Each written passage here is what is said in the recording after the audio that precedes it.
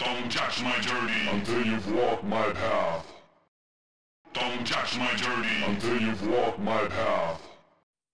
Hey guys, this video is sponsored by Amazon Coins. By using the link in the description, you're going to be able to save up to 20% of all of your in-app purchases.